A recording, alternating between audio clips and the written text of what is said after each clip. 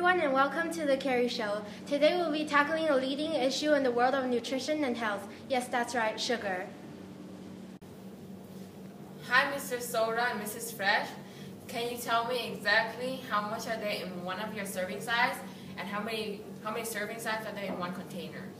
Well thought, I have nothing to hide because one can has exactly one serving, which is 12. fluid ounces.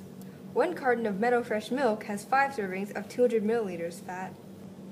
Then, Mr. Soda and Mrs. Fresh, can you tell me how many sugar are there in one of your serving? Oh, well this interview is about sugar? Well, what just has 12 and 3 thirds teaspoons of sugar per can, which will give children a nice boost of energy. My product only contains 2 and 2 fifths teaspoons of sugar. Well, thank you, Mr. Soda and Mrs. Fresh, for being here. Back to you, Carrie.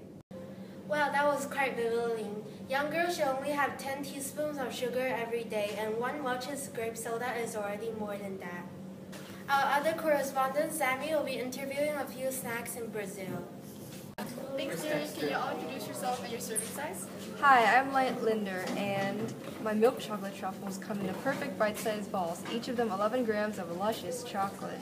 Hello, you can call me Mr. Fragata. I sell the best black olive on the market. One serving size is 100 grams, and each can of olive contains seven servings.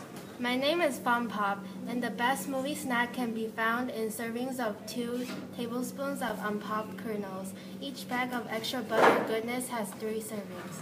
Now can you tell us all of the, all of the viewers how many teaspoons of sugar in one serving of each of the products? Well, my rich truffles are so small that they contain only about 1 and one-fifth teaspoons of sugar per ball. They're the perfect gift. well, my olive have absolutely no sugar added to them. They wouldn't want to be taken away the natural ju- juicy flavor of the olives. What a coincidence! My popcorn also has no sugar. It, ha- it also is higher in fiber and lower in calories.